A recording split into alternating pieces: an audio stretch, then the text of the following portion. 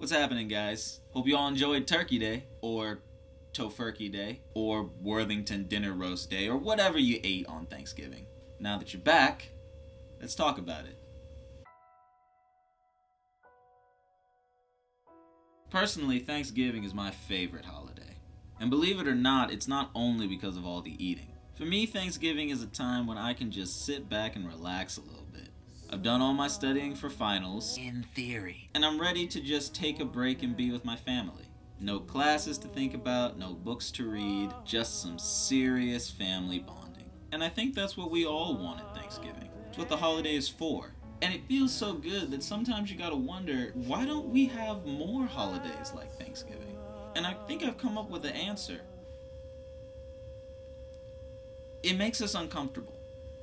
We've developed such a culture of receiving and getting for ourselves that actually having to be thankful for the stuff we received is kind of weird to us. So we surround this one holiday in which we're asked to give thanks with a bunch of other holidays that ask us to get for ourselves. And some of these holidays aren't even a decade old. Let me drop some facts on you guys real quick. Thanksgiving was made an official holiday in the United States in about 1863.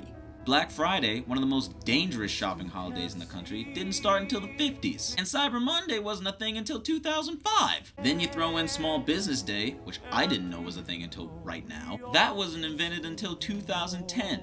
Just six years ago. Call me a Scrooge, but it looks like we're trying to bury this holiday like the people of Cuba are trying to bury Fidel Castro. As sinful human beings, we're not really hardwired to think about people other than ourselves. It's always about me, what I can get, what I can have, what I can spend on me. Thanksgiving, the one holiday out of the year when you can actually sit back and be like, man, I got a lot of stuff. I should really be thankful that I got all that stuff instead of sleeping on the street.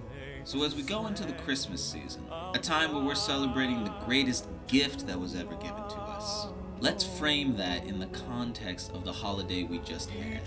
A time to be thankful for that gift and all the other gifts that we received. There's a lot to be thankful for, so let's not sweep it under the rug. Always be thankful.